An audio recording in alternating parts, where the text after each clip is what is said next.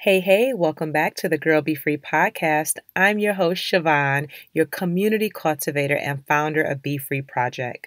I help women who are ready to flourish, feel fulfilled, and be free to show up for themselves.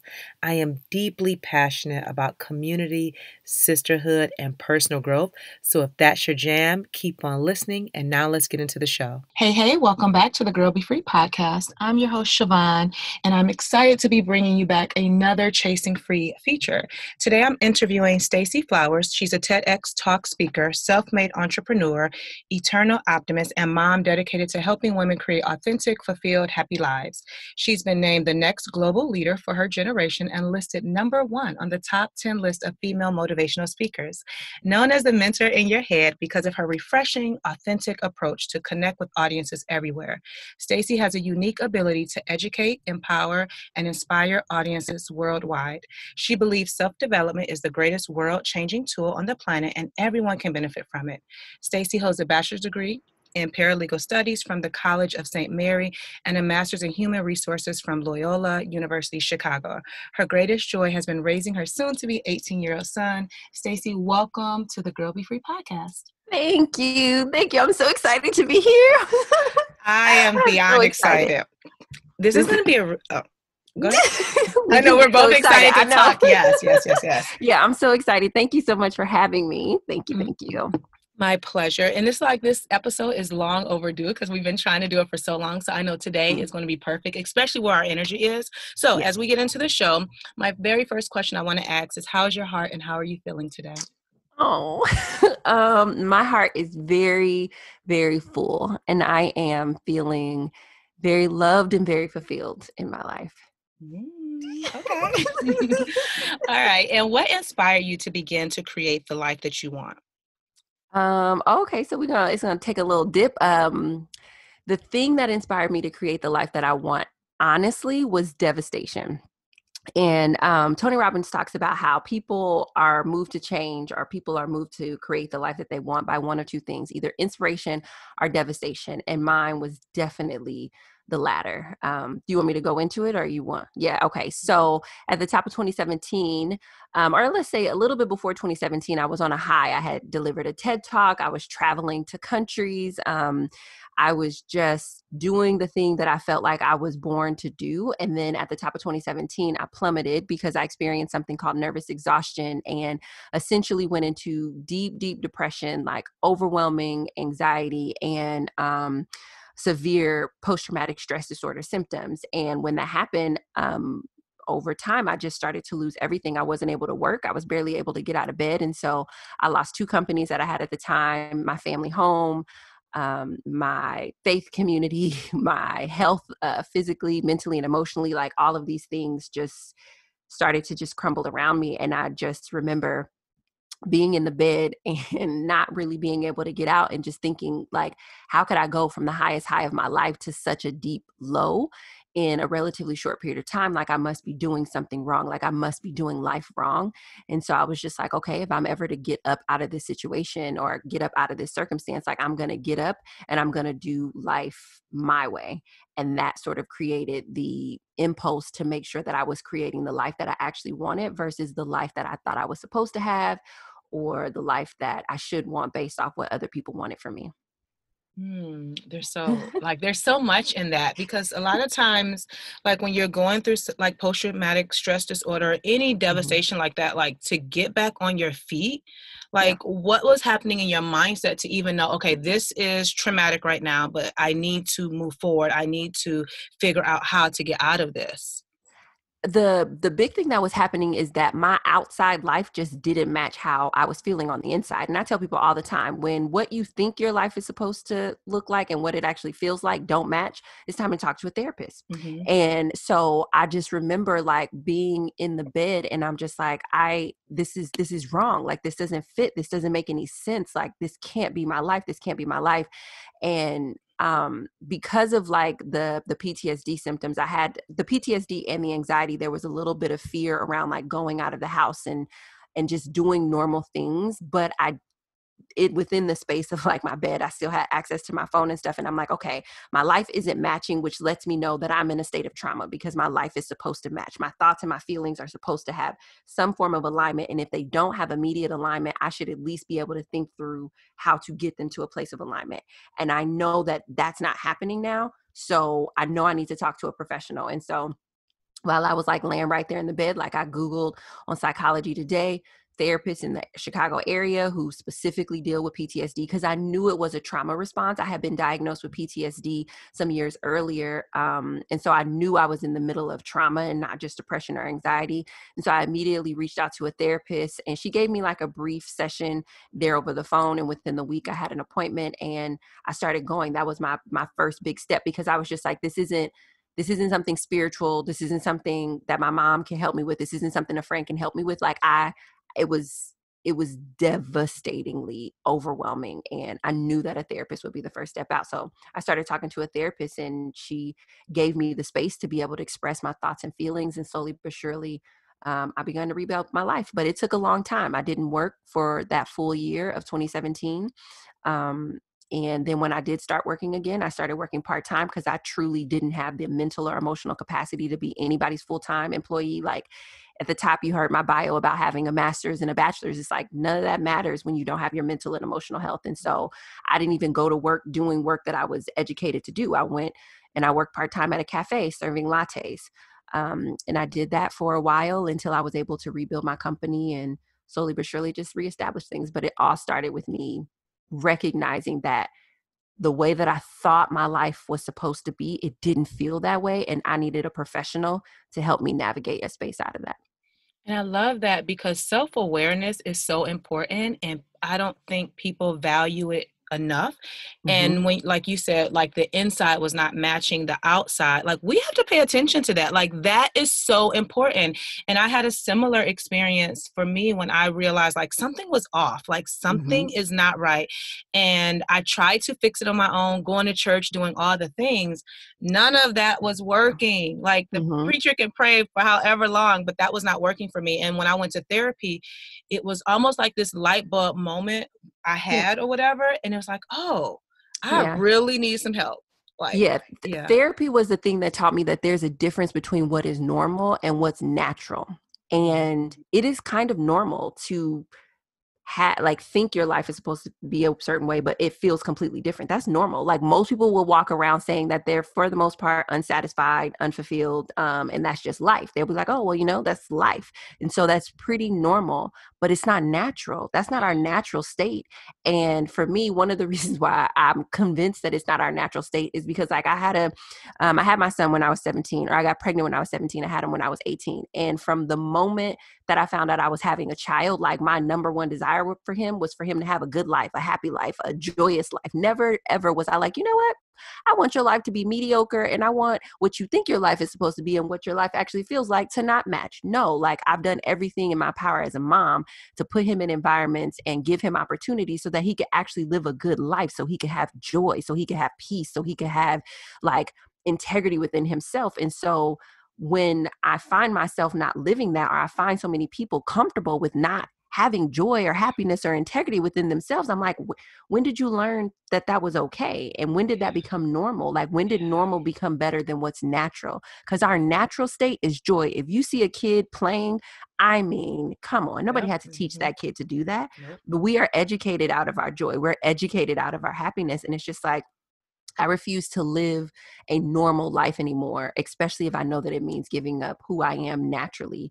And um, therapy was the thing that brought that to my attention. And I was like, oh, normal is overrated. I will live naturally. And my natural state is quite joyous, mm-hmm. quite optimistic, very peace, like ease. That is my natural state. And anytime I don't feel that, then it's time for me to get some support and i really hope people are paying attention like if they're if you are battling something internally like you have to pay attention to that and it mm-hmm. can be therapy maybe it's picking up a book maybe it's journaling maybe it's reaching out to a friend and having a conversation but you have to do something like i agree like our natural state like we should be joyous we there should be bliss there should be happiness it should not be this mundane type of life where you're just existing going through the motions and you're mm-hmm. suffering in pain like that is not living and so mm-hmm. many people are doing that every single day and it's why we do the work that we do and hopefully yeah. this conversation will inspire people to at least look within like look within yes. yourself and see what should i be doing because this feeling that i'm feeling is not okay mm-hmm.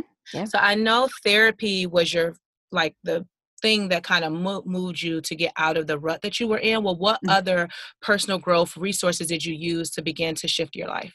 Mm, um, so my first, so when I got on the path to, per, to personal growth, my first thing was a book, and it was the book by Louise L. Hay, "You Can Heal Your Life." Mm-hmm. I love that book, highly recommend it. Um, and it was the first time that I had read anything that helped me to understand and connect my thinking to the results that I had in my life.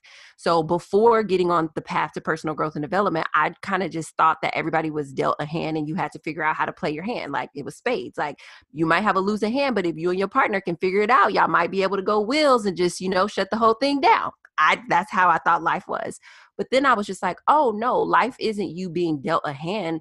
Life is literally you creating what you want to see in the world. And I mean that and now intuitively on the inside i thought that that's how life was because you know as a kid you have an imagination so you think you can create anything mm-hmm. but then you grow up and you're like oh no you got to play this hand and when i read that book i was like oh I don't have to play this hand. I don't have to, any of the illnesses, whether they be mental, emotional, physical, financial, any sort of lack, weakness, illness in my life, I can just create something else. Like I literally can create how my creator creates. It blew mm. my whole entire mind. And when I started to really think about what I was thinking about versus just thinking what I was taught to think, it everything began to change. It just it shifted dramatically. So that was my first first introduction and then i was just like do other people know this? And so then i started to find other teachers and probably my favorite personal growth and development teacher um, is the late dr wayne dyer. Like i love his work. He is profound in the way that he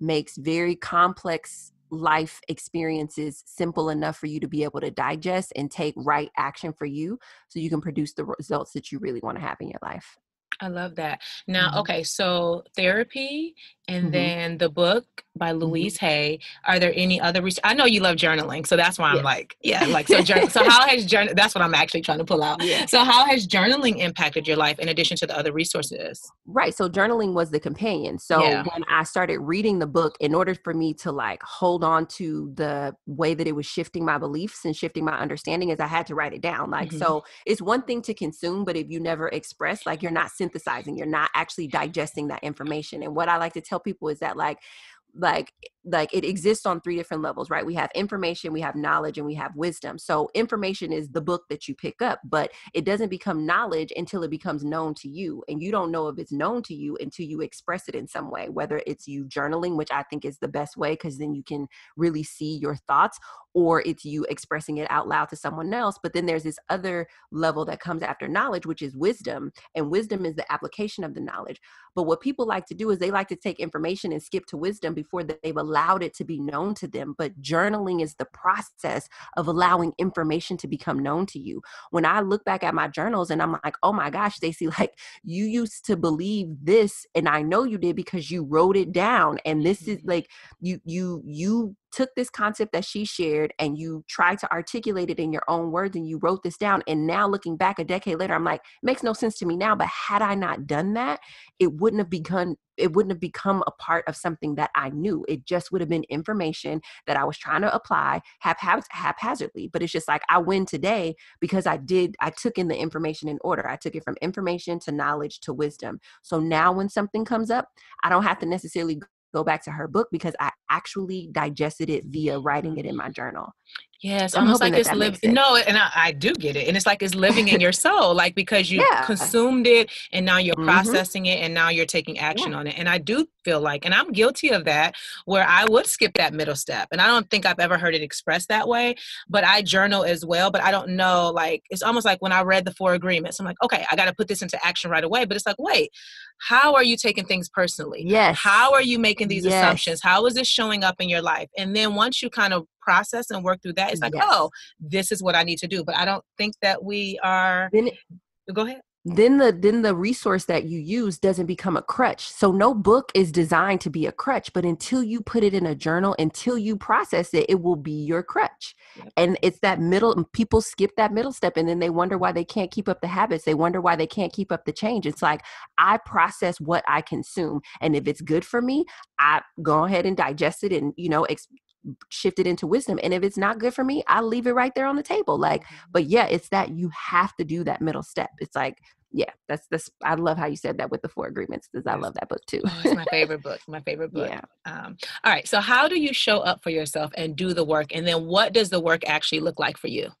Ooh, these questions, these are good questions. Um, okay, so I think the way that I've learned to show up for myself is that I have made myself my favorite human on the planet. So like I I love myself the most. And that used to be something that I was very afraid to say out loud, but I realized that like if I don't love myself the most, there's really nothing, especially with the work that I feel like I've been called to do. There's not much that I'm going to be able to do for the people I've been called to serve, or people in my family, my friends, etc. Um, so I think the way that I show up is making sure that I remain my favorite person. And I do that by like checking in with myself and making sure that I'm living in accordance with my values and making sure that every day I'm touching something that's important to me. Like I don't let a week go by without touching or speaking to the people who matter to me the most, stuff like that. So, but I do that as a result of making myself my favorite person. And then, you know, in me doing that, there's like this incredible, deeper level of self love that just naturally happens. And out of that, choices to make the investment in therapy or make the investment in a trainer or make the investment in a rest practice. Um, and I've mentioned my rest practice before that I rest seven by seven by seven by seven, which means every seven days I take a day off. Every seven weeks I take a week off. Every seven months I take a month off. And every seven years I'll take a year off. And so I I create rituals and practices and I invest in in people and tools and resources that are specifically designed for me. Like they're not for any other reason than that they make me better. Like my therapist is for me. My trainer is for my body. My my coach is for my they're, they're a thousand percent for me.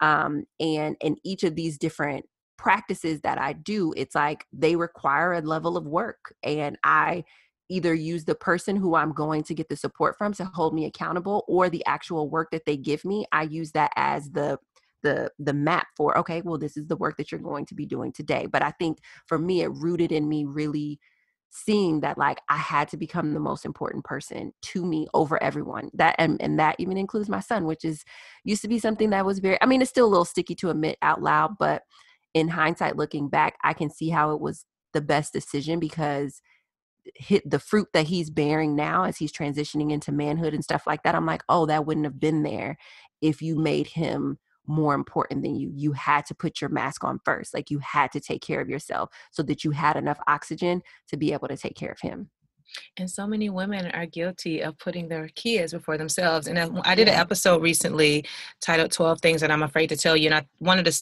things that I shared was that I do not feel guilty for putting myself first. My kids don't come before me. Now, I was guilty of doing that years ago, mm-hmm. but now, no, absolutely not. Um, so, were you always your favorite person?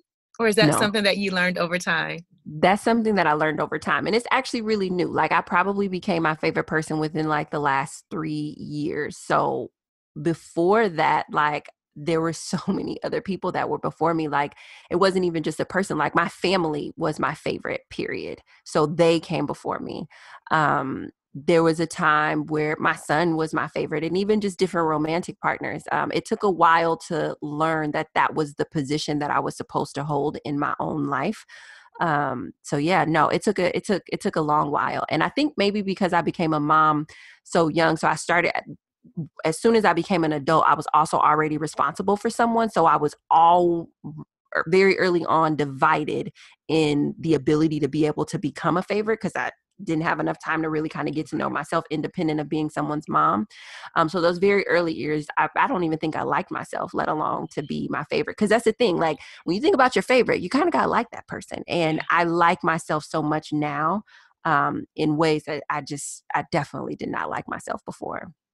Yeah, and I love that because even when you talk about the 777, like that is showing so much love to yourself. Like Mhm. to rest, like and we talk about this all the time, like your whole resting period.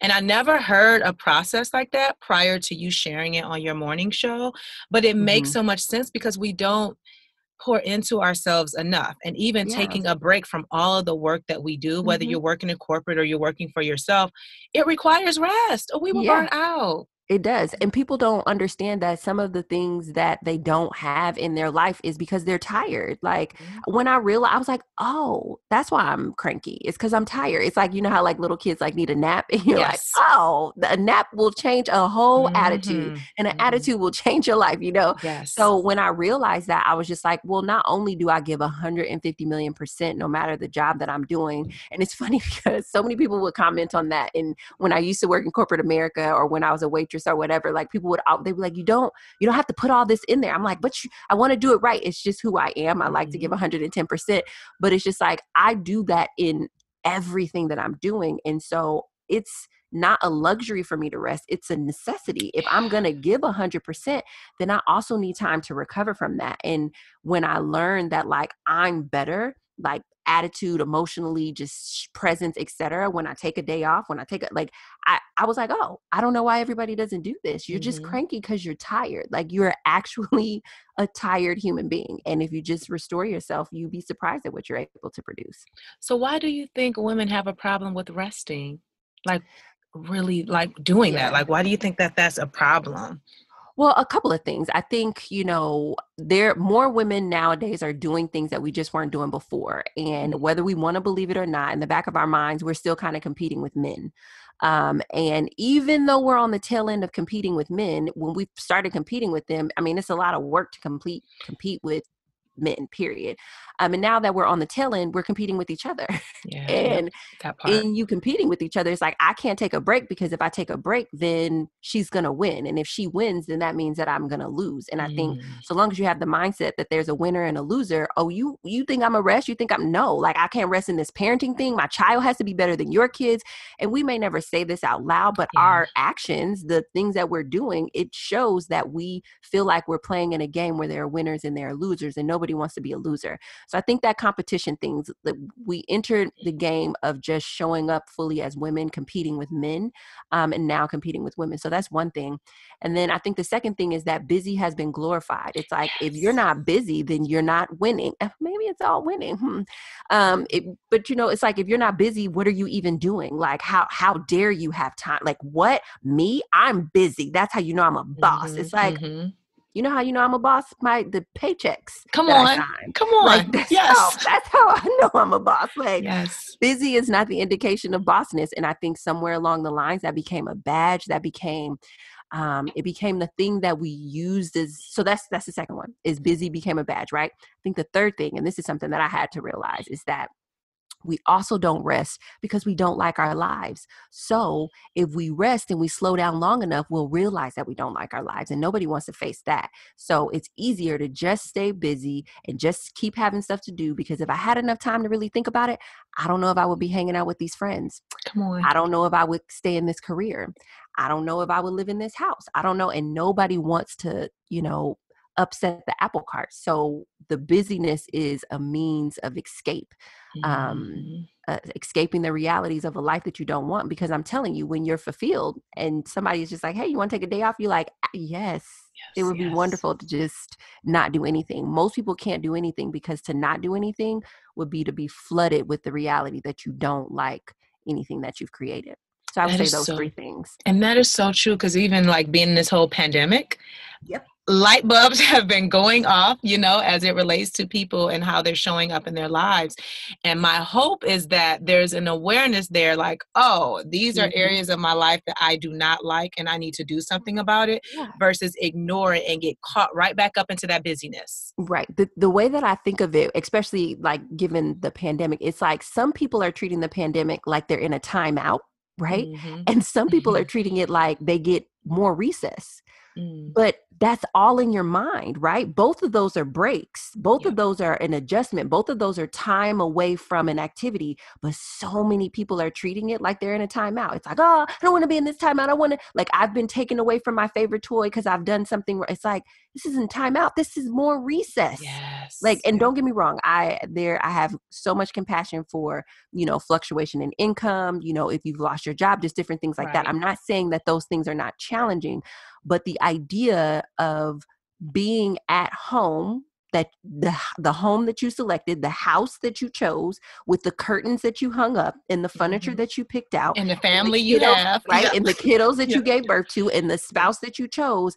The idea that that feels like a timeout from the things that you really want to do versus a little bit more time to play at recess is a thing that should be evaluated, mm-hmm. right? It's a thing that should be evaluated because that is your life. Yes. And if you don't like it, you are the only one who's going to be able to change it. And it doesn't require burning the whole thing down to the ground, but it is going to require you to do some heavy lifting and some work that most people just don't want to do. And so we stay busy, especially yep. women. Yep. And they're going to miss this women. moment. They're going to miss it mm-hmm. and they're going to get caught up right back into the rhythm that they had before and mm-hmm. kick themselves years down the line. Why didn't I shift something? Whatever that shift may look yeah. like. I would hope that there will be a change. And I know there will be for some people, but a lot of people are going to go right back to the same old thing that they were doing before, which is very sad. Mm-hmm. Um, so, what's your biggest fear, and how do you overcome your fears?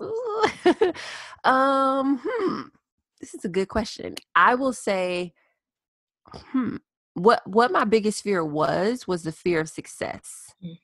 That was my biggest fear, and I overcame that by talking about it all the time. Um, I so oh man, yeah. So my biggest fear was success.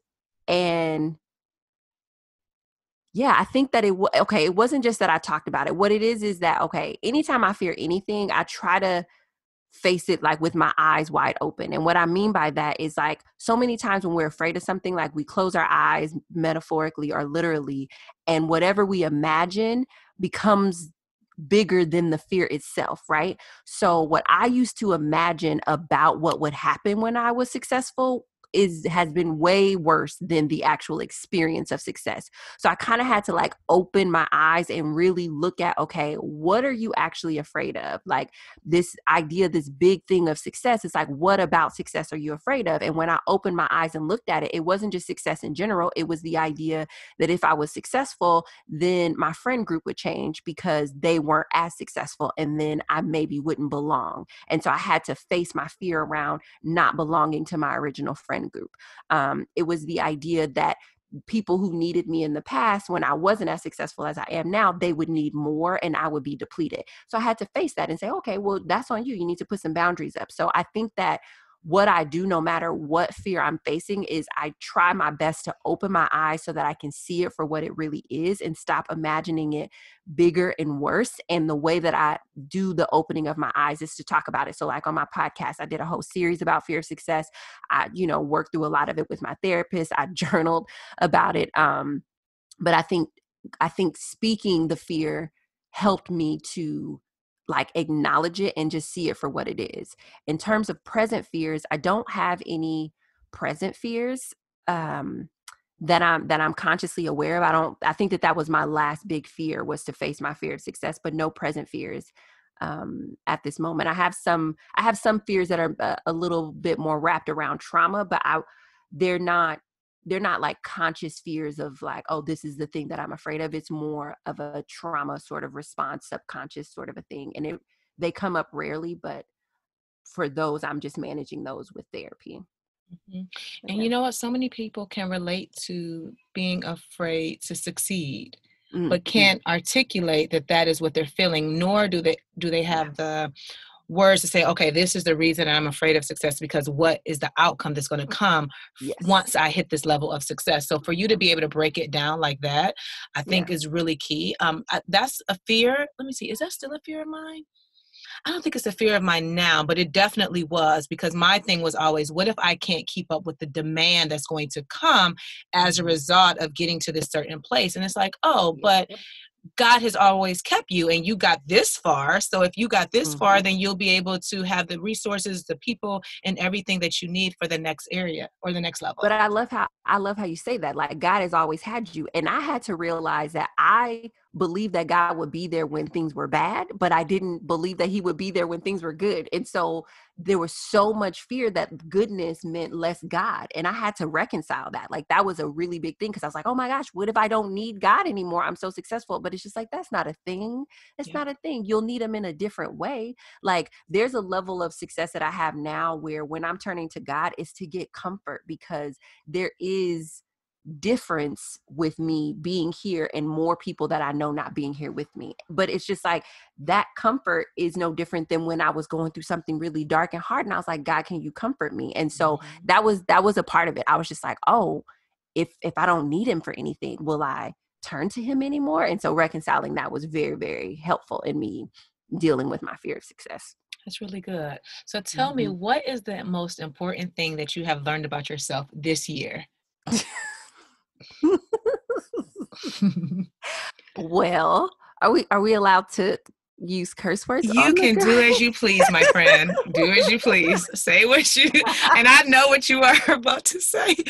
Carry on. I already know. okay clutch your cur- clutch your pearls and put your earmuffs on but i the thing that i learned this year is that i am the best me for me and everyone else when i do what the fuck i want to do You better come on. that's Come on. I love. I'm here for I, it. that is a hundred per i did not Why don't you say it again, please? Oh, oh okay. I am the best for me and for everyone I love when I do what the fuck I want to do. And it's it took a it took I mean I I don't even know how to begin to describe how important it is that I learned that lesson. I did not know that doing what I want to do is the game. It is the secret ingredient to my business success. So many people have been watching that. Like it's because I do what I want to do. Like it's the secret to, you know, the success even of my son and, you know, where he's at. Like it it is the secret ingredient. It is the sauce of your life is to figure out that doing what you want to do is the game changer. It, and and and there and we fear that as women, right? Because we're like, oh, I'll be too selfish. I, it'll my selfishness is going to harm other people, and it's just like your selfishness is is you taking care of yourself so you have something to give to other people. Like, how am I gonna like my friends if I don't like myself? Come on. how am i going to love my child and my person if i don't love myself like and how do i get to the point where i like and love myself if i'm never doing anything that i want to do like how do you get there if if if if all i'm living are my needs or the needs of other people? How in the world am i living if uh, that's it? If that's all i'm doing how in the world am i living? You're i'm not. And learning that there was a difference between surviving and living i was like i don't think anybody knows this. I think people think that they're supposed to survive. And it's just like based off everything that my ancestors did and i'm only surviving Come on. Yeah. I don't right. I, I don't want to dishonor what they did in their survival Mhm. by just surviving now. Like even if I think if we don't have to be my ancestors, it could just be my mama. Like based off what my mom has done, I will not dishonor her by spending my life in survival mode, aka not fulfilling and doing stuff that I want. It is my basic responsibility to take care of my needs, but I'm supposed to rise to the occasion of doing what I want. That is, Mhm. I when I real I was like, holy smokes. I'm supposed to do what I want. like Yeah. blew my mind. That was that is the thing that I learned this year. And it has been remarkable to see the ripple effect of positive outcomes and benefits for my friends, my family, my community, um, anyone that I've been called to serve, and even just random people that I'm able to meet on the street. Like because I do what I want, I interact with so many more human beings than ever before when I was running around doing what I should do or doing what I was supposed to do or doing what I had to do. It's like these things don't have to be um dichotomous they don't have to be it doesn't have to be one or the other they don't have to be mutually ex- exclusive you it, is- it's fascinating how how i'm able to meet my needs better now because i do what i want And you know what? It's what I talk about in my work all the time like women showing up for themselves and figuring out what you want for your life and then doing that. The problem is, so many of us do not know what we want. So we can't create yep. a life because that we part. have no idea. And it's like, oh, this person told me I should be doing this. This person told me I should be doing that. So you're living out all of these other people's lives, if you will, and you don't even know. You do not know. Right. This is where that journaling comes in because when I started to practice wanting and like fulfilling my wants, it started with me going back in my journals and me reading. I remember, I wish I would have pulled it. Um, I didn't know you were going to ask this question, but in my journal, I literally wrote down, I just want to take a bath with candles. Like, I actually wrote that in my journal. Now, think about that. Like, for me to have to write that in my journal, that means I was so deprived in my mm-hmm. regular life that I could not think through or process how to just take a bath with candles. Like that was this far off one day fantasy of just taking a bath with candles. And I had to be willing to write it down and then later go back and read it and then actually do it. And so, what I tell a lot of people in terms of figuring out what they want, it's like, it doesn't have to be big. You don't have to want the yacht, you don't have to want an island, but like, do you want to wear nail polish? Like, do you like some people don't know if they want to wear nail polish like do you want flowers mm-hmm. some people mm-hmm. don't some people reject flower they're like oh i'm not a flower person because nobody's ever given you flowers but that doesn't mean you don't want them you've just never received them and want doesn't mean that you have to have experienced it first it's just pure desire and i all my simple wants like to take a bath with candles to paint my nails red um to i really like um hotel pillows i really like hotels in general and i was just like you know what i want hotel pillows so you know what i went i went on marriott shop marriott.com and i bought me some hotel pillows like i did like it, your wants don't have to be something that like blows the bank it yep. could be you taking a bath with candles like the mm-hmm. first time i did that i was like oh this was a lot easier to do than I thought. and then I trusted myself mm-hmm, to mm-hmm. go out and get my other wants, you know, like it's and it's just I, I encourage any woman who's listening right now if you can't rat off 10 things that you want across the board in your life right now like quickly then mm-hmm. i encourage you to get a journal and start journaling yes. every day what do you want like yes. wake up in the morning and ask yourself that question what do i want mm-hmm. Mm-hmm. and I love how you said it doesn't have to be these grand big things. The simplicity of it, painting your nails red, come on anybody can go to target and get a bottle of nail polish and paint their nails or you know taking a bath we have water you know right. like and what's, what's crazy about painting my nails red is that like i just did it because because um, like so i grew up um very religious and so we couldn't do that and so that that's a, it's a big deal for it's a big deal to paint my nails but then to paint them red oh my gosh, you like know, like a rebel, you know, right? Yeah, right. and so I've always wanted it. But what's fascinating is so I've been documenting my journey um, to become debt free over on my YouTube channel, and in most of my videos, my nails are red. And so sometimes when my nails aren't red, people will be like, "Oh, you know, I was hoping that your nails would be red." It's become a part. It's like a part of the story. You know what I mean? Like it's mm-hmm. kind of like how Carrie Bradshaw's fashion was a part of Carrie Bradshaw. Mm-hmm. Like mm-hmm. you don't realize that sometimes people can't see you because you're not doing the one the thing that you want. And something as simple as me painting my nails red has become something a part of a view of me that people look forward to seeing so that they can hold on to the story of me repaying my debt. That is mm. fascinating to me. Just, mm-hmm. I mean, I'm not saying you wouldn't have followed without my nails being red, but the fact that that's something that you're like, oh, you know, oh, you know, Stacey with the red nail. It's like, I didn't know that was a thing, but mm-hmm. it's a thing because it's a desire fulfilled. Yes. That's why people can see it because you uh, when you're seeing it you're seeing me fulfill a desire mm-hmm, that's mm-hmm. why it mm-hmm. looks so good or so different those little nuances it's very simple wants fulfilled that will give people a beautiful picture of who you are and they'll love it they'll be like oh yeah she does this or she wears this yeah. and you don't have to try you just get to be and they feel more connected to you. Yep. Because you have designed or you have created what you wanted for your life and you're allowing that to come through your work. And so mm-hmm. now they feel like they know you and they're connected to you because yep. you're showing up and becoming the best version of yourself. So I yep. love how you said to get a journal and write down what do you want for your life and then start incorporating some of those practices, Let's big or small. Yeah. Yes. I'm with You'll be surprised how easy it is to fulfill your wants. Mm-hmm. Like when I took that bath, I said, what the? This was easy yeah. and you and it builds trust and we don't i think women don't trust themselves as much yes. as they would like to say that they do because yep. if you trusted yourself it would you wouldn't when you hear the statement I get to do what the fuck I want, it, it won't it won't make you shudder. If yep. you trust yourself, then you know that that's not a statement about doing anything bad, wrong, evil, or harmful to anybody else. I trust myself so much now that when I do what I want, I know that it's going to bring glory to any human being yes. that I come in contact with because I, I, trust that. myself. Yes, I, I no longer see myself as bad or wrong or unlikable or unlovable. It's like, mm yeah. Yeah, that's good. Okay, so what are you most proud of? Um, the thing that I'm most proud of right now is my son graduating from high school and going to college, um, earning a full ride scholarship to college. He is the first male in my family and his father's family to graduate high school and go to college. So I was the first female, he's the first male. And I mean, when I tell you I am uber proud, I am completely so so so so proud of him and i'm i'm proud because a part of him doing like he's been able to do something that I thought, I don't know, I just thought it would take like his whole lifetime to do, but he's actually been able to make like a part of his dream or a piece of his dream come true and a piece of my dream come true. So, like, as a young mom, I just always dreamt that like I would raise him well enough to be able to make that transition into college because I think education in college is very, very important. And so it's been a dream for him to graduate and go to college. But he like took it to the next level and was like, and I'm gonna get a full ride. So you don't gotta worry about, you know, none of the financial part.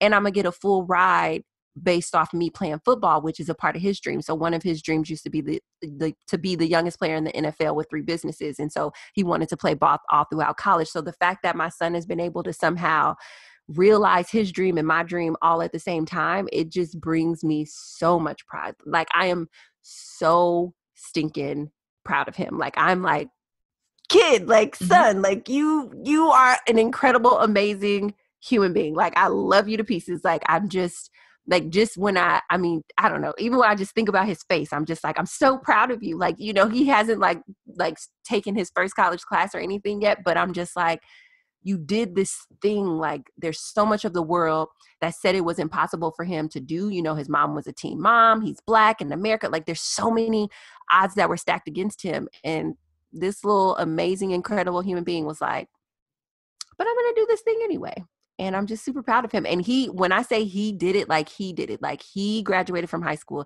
he earned the full ride scholarship he did the push-ups to get the you know he recovered um, from his injuries like i'm just that is the thing I'm most proud of is just being his mom and successfully parenting him into this next phase of life, which is helping him to transition into manhood. And y'all, I wish y'all can see Stacey right now because she is glowing the way that she is expressing her love for her son. And I can only imagine how proud you are based yeah. on everything that you've done to get him to this point. And then not only graduate high school, but then to go to college, but have a full ride. Like, come on. Come on. Come on, full uh, ride. Yes, like. come on, full ride. Mm-hmm. And so this is not a question that you received, but this just came mm-hmm. up for me.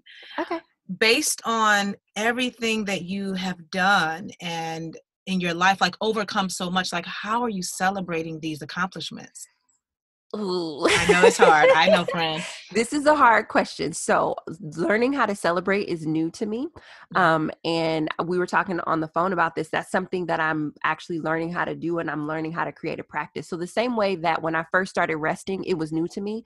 Um, but I realized that rest is a complete spiritual practice, and I dedicated myself to finding a rhythm and a ritual to it. That's what I'm trying to do with celebrating. And um, what we did um, on the phone. We journaled about it, and I made a list of different things that I could buy myself to sort of mark the occasion when things have happened.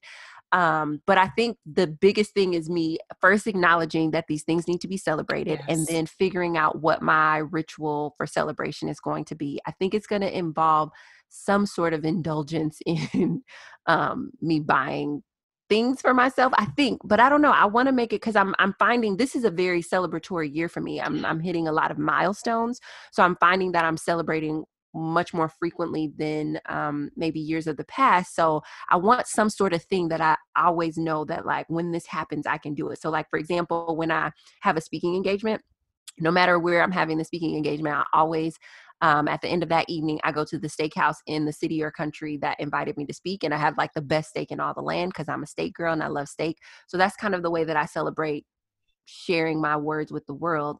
Um, but I want to figure out like what's something what's a practice that I can implement that every time I accomplish something or I'm proud of something that has been done that I can say, okay, this is what you're going to do. You're going to go to the spa for three days and you're going to, you know, mm-hmm, something mm-hmm. like that. I don't know what it is yet, but um, I'm, I'm learning. And so, so far I have a list of things to buy yes. for myself. and the reason that I ask you that question is because it's so we can hold you accountable to this, right? So not just yes. me, but like mm-hmm. everyone that's listening, because you do need to celebrate. Like these are major yes. milestones, and yeah, I'm guilty. I'm not, I don't have it mm-hmm. all together. You already know. So I too have yeah. to learn how to celebrate. And I think we all do. Because even when I ask yeah. this question in my community in the Be Free Inner Circle, like, how do you guys celebrate? Like, that is a struggle for women because mm-hmm. we don't have time to celebrate. We're always yeah. doing mm-hmm. other things, but we do have to press pause and think, like, how am I going to acknowledge this mm-hmm. moment and not let it just be another thing?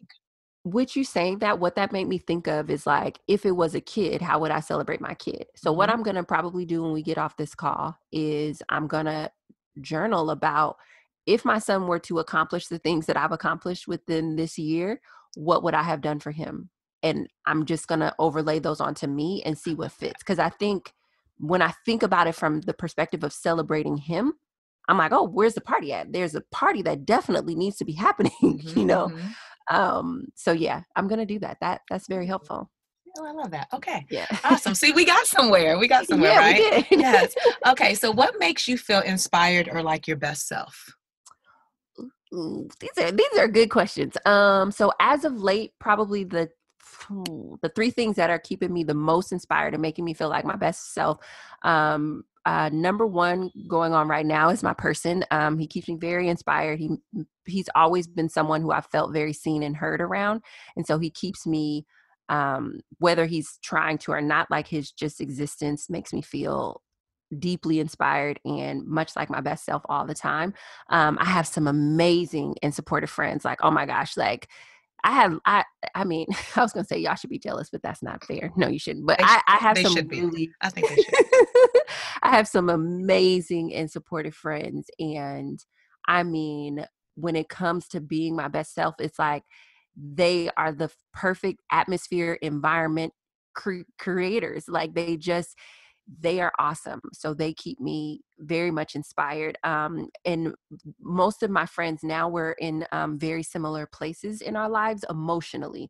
We're not in similar places in our lives. Um, like naturally with with respect to like children and spouses and things like that but emotionally um, we're all in the same space and so i get a lot of inspiration from just witnessing them work through uh, emotional challenges or emotional um, curiosities that I haven't yet come upon, but I'll probably be upon within like the weeks or whatever. So it's it feels good to to share an emotional space with some really incredible women. Um, and then uh, the last thing that keeps me really inspired is my work. Like my work, I just it's gone to a uh, it's grown exponentially in the last um, maybe six to nine months, and so I'm deeply inspired by it because my community is is asking from me things that I've always wanted to give, but they're asking in such a way that like it just really inspires me to say, you know what? Yes, I will create this. Whether they're DMing me, you know, a personal message about what they're going through or emailing me or just coming up to me when I'm getting off stage or you know sending up the hearts when i'm doing the ig live it's it's it's fascinating to have built a community that is specifically asking for the things that i've always wanted to create so they they are keeping me deeply, deeply inspired. Um, so yeah, I would say those three things: my person, my amazing and supportive friends, and my work. I love that. So since you brought up friends, how mm-hmm. important mm-hmm. is sisterhood and community to you?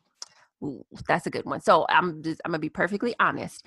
It used to not be important to me. It actually used to really be a burden. Mm-hmm. Um, both community and sisterhood. Sisterhood was an incredible burden because I had so much trauma around sisterhood because I had lost one of my sisters very early on in life, um, and then went to foster care, and you know my sisters and I were separated. So I had a lot of trauma around what it means to be someone's sister and what it means to have more sisters. And so it just was an incredible burden to think about adding women to my life who I would call sister. I just could not do it successfully.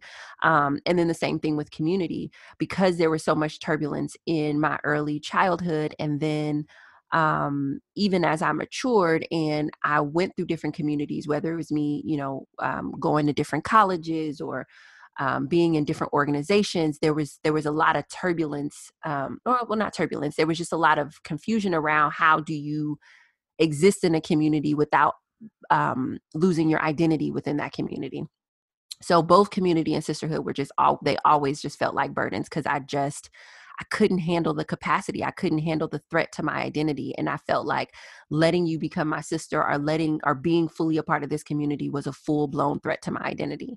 Um, through much healing, um, trauma work, different things like that, I was able to heal some wounds around the sister stuff and some room, wounds around the community stuff and really get to a place where I know who I am um, and know that I'm an asset to any community and I'm an I'm an asset to any sort of sisterhood and get to the place where the significance of them are that I know now I wouldn't be who I am without sisterhood and mm-hmm, community. Mm-hmm. So even though for majority of my life it felt like a burden, I'm a thousand percent for sure I wouldn't be who I am without community. And so like for example, over on my YouTube channel, when I first started documenting my journey to become 100% debt free, I think I had about 2,000 or so people that were subscribed to me.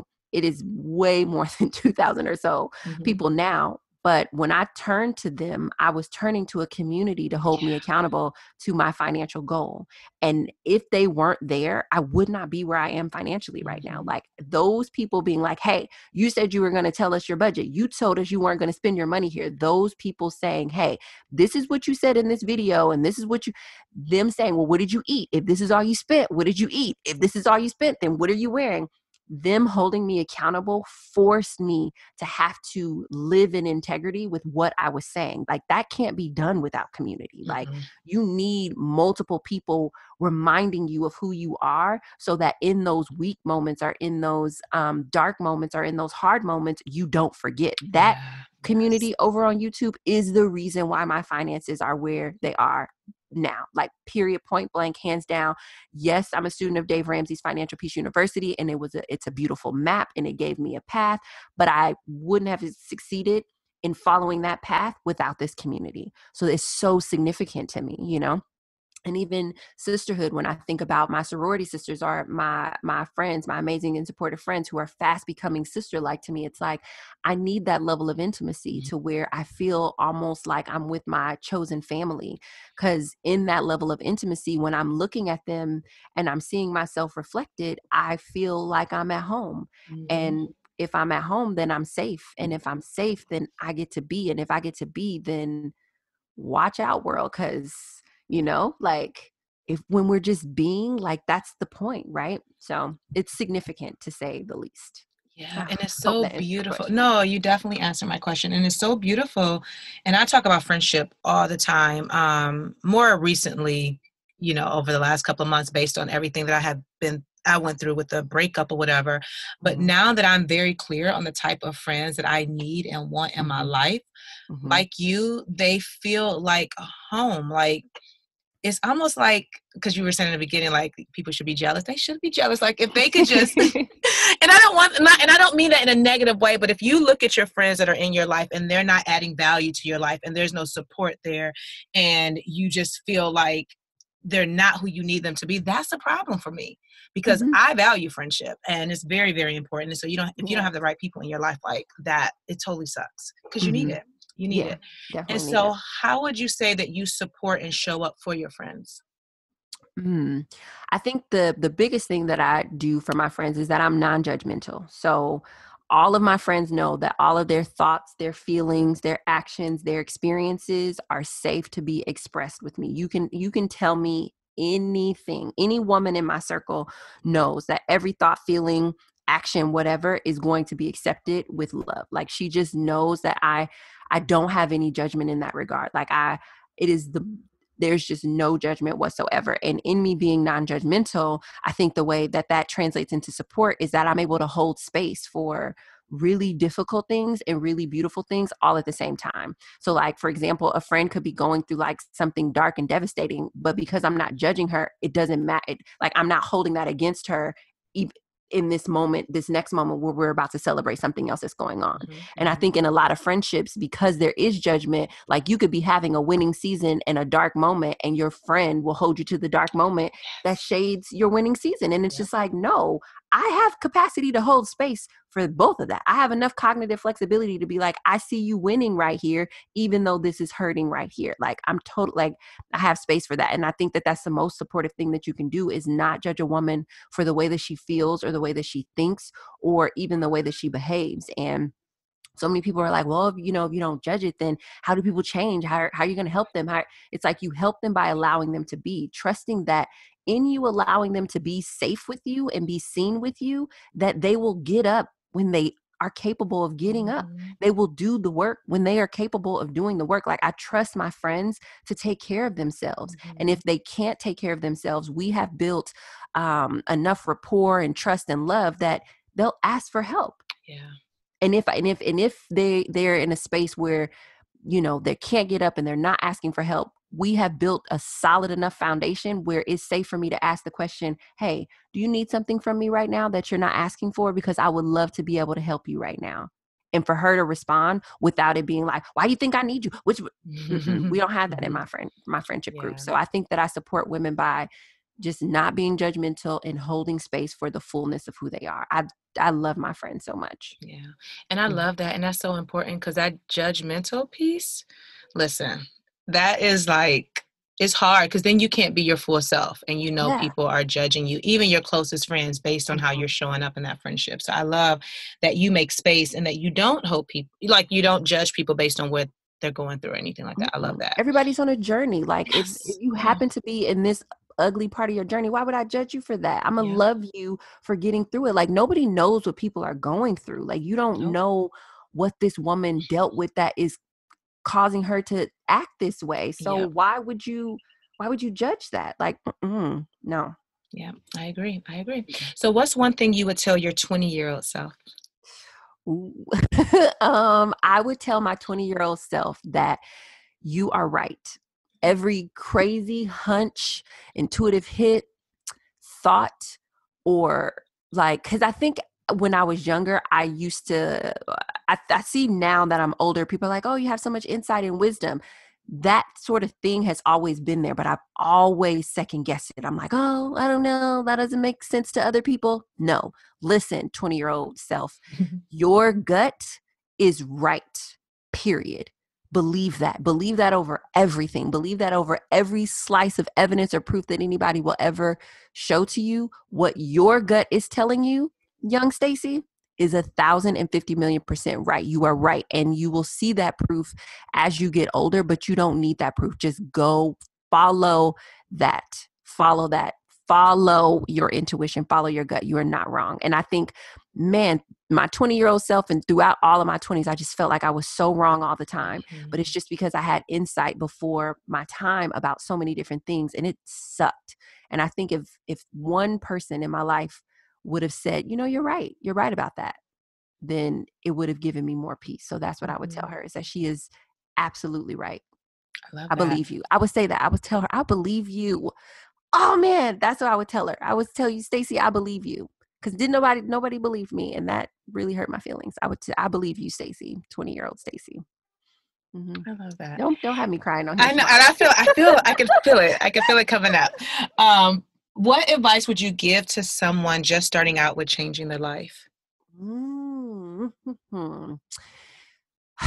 I would say that you are the average of the five people that you choose to associate with the most, right? And those people need to be your cheerleader, your mentor, your coach, your friend, and your peer. And I talk about this in my TED talk, but the reason why I say that is because if you are on a path to changing your life, I want to tell you ahead of time there are going to be some moments that completely suck. But when you have a cheerleader, when you have a mentor, when you have a coach, when you have a true friend and a peer in your life, they are the people who shine the right kind of light on you to help you get out of that space. And changing your life comes with its fair share of suckiness, and you need the right kind of support, right? But it's also the same thing that when you change your life, the celebrations are beautiful, mm-hmm. and you want the right kind of people around you. And that cheerleader, that mentor, that coach, that friend, and the peer, those are the right kind of people. If you are the average of the people that you're associating with the most, and you are about to change your life, look to people's lives that you respect and admire. Look to people's lives that just when you imagine switching places with them, it doesn't make you go, no. It makes you go, okay, if I had to, because what's going to happen is those people are going to support you and advise you and encourage you and motivate you and push you from the experiences that they have and if you are if you improve your average if you improve those people that you're spending the most time with your life naturally yes, elevates there's an absolutely. aspect of changing your life where you won't have to use hard work. You'll just be able to show up and and be guided and lifted by them. So that's what i would say. I would say right now run make a list in your journal of who your five people are I love it. And I'll make sure that I link to your TED talk in the show notes so people can go take a look at that because it was so inspirational. And it's like, oh, wait, I'm missing some people in my life. Like I have this person, this person, but I'm missing a few. So I think it was, it is, it's really, really helpful. And it's a great guide to figure out, okay, what type of people do I need to put in certain places so you know what you need for that support. So that's really, really yep. good. Yep. Um, because we oh, get oh, things from different people. Like we think that we're supposed to get everything from one person. No, no, no, no. Mm-hmm. That's how you wear people out. That's why people need rest. right? Mm-hmm, no, mm-hmm, we mm-hmm. have different people in our lives who gives us different things. And I think understanding the type of person and the role really, really supports you in not wearing yourself out, not wearing the person out, not being disappointed. Mm-hmm. Um, it just really, really supports you in getting what it is that you want and creating the life that you want. Yes, because that's the goal, right? That is yep. the goal. That's the goal. Um, what book would you highly recommend the Girl Be Free listeners read? And I know you mentioned Louise Hay. You mm-hmm. can heal your life, so I'll definitely link to that. But what's another book, like hands down, that everyone should read? Everyone should read Worthy by Nancy Levine. It's Worthy. The subtitle is uh, Boost Your Self Worth to Increase Your Net Worth, I believe. Um, it's a book about money, but it's a book that has a lot of work in it about money. And the reason why I say that, especially for women, is because one of the things that has been super profound for me as I have restored my financial dignity and really moved into a beautiful financial place is that I have found aspects of myself that I did not have access to because I just couldn't afford to have them, right? Mm-hmm. So there were feelings that I just wouldn't let myself have because I couldn't afford to have those feelings. Like imagine not being afford to have your feelings. That's i lived in that space and i think so many women are not free and they're not fulfilled and they're not flourishing in their life because they they literally can't afford to do it. And i'm not talking about the afford to just go get your nails done. I'm talking about affording to be able to have your feelings. I went through a grief season. Grief is rough and because i was financially secure i could afford yes. to properly grieve mm-hmm. right? Like some of us aren't grieving that last person who did whatever or this job or whatever because we can't afford to pause and curl up in the bed and cry about it. I can afford so to grieve, right? Not mm-hmm. only can I afford to grieve, I can afford to be joyous. And so many of us can't afford to be joyous. Like we can't afford to go and buy something to celebrate ourselves. And so if there was any book that I would recommend for your audience, it would be that book because she she tells the story of understanding that your worthiness is inherent but your the reflection of that is reflected in your finances because your finances gives you the ability to be able to do the things in your life that make you feel worthy all the time mm-hmm. and i mm-hmm. and women we need that we need that financial dignity we need that financial understanding and i want that for you because yeah. I want you guys to be able to afford to have your feelings. Come on, yeah, and you know, I just recently learned about my feelings over the last I don't know year or more, because um, I did not, and I didn't even know that I couldn't afford my feelings. I wasn't even taught to feel. I just went through the motions. Mm-hmm. Like, so if you ask me a question like, "How do you feel?" I'm like, "Oh, I don't know. If it ain't happy or sad or angry, I don't know everything in between." But now I have become yeah. a lot better. And most women, it, they don't even have happy or sad. They don't even have the top five. They'll tell you what they think. You ask the woman how mm-hmm. she feels, she'll tell you what she thinks. Yes, yes, that's mm-hmm. so true. And I'm really good at being like, okay, let me, you ask me how I feel. Let me tell you this. And then we could put that together um, and you help me express what I feel. So, yeah, you're so right. And I hope that people will start to acknowledge, like, yeah, I feel like this and this is why, and start to do the work around that. Absolutely. Yeah. Mm-hmm. So, share a fun fact about yourself. Okay. What? Um, I don't know why this is. Listen, I'm okay. The funnest fact about me is that I'm actually fun. This is something that we've talked about. Is that like so many people have this impression of me that I am like this very professional, maybe little uptight type person, but like, no, guys, I'm a blast. I'm a whole entire ball. So that's probably the funnest fact is that the me that you see in my work is very much a, a, portion of who I am, but it is also very much work. And just as deeply and 150 million percent that I put into my work, I put that into my play as well. So, or my fun as well. So, I'm the funnest person in all the land. That's a fun fact. I love that. I love that. I love that. And tell me, what does being free mean to you? Mm-hmm. Um, I think being free means being myself like mm. it is literally mm, it is me unapologetically and confidently and loudly being myself mm. that's what being free the loud is important because for so much of my life i didn't feel seen or heard and i'm beginning i i'm i feel very free now and i feel like it's because i'm allowing myself to be loud um, and not just loud in volume. I'm talking about loud in terms of reach and impact right? mm-hmm, it's mm-hmm. it's fascinating that a million people have seen something that i've created. That's very loud right? So Can we I celebrate to- wait a minute you know how i get let's pause. A million people have a seen million, your ted talk? Yeah a I million people. that. it just it, it just i was like whoa. Yeah that how does that make you feel? Look at me like we're on the phone.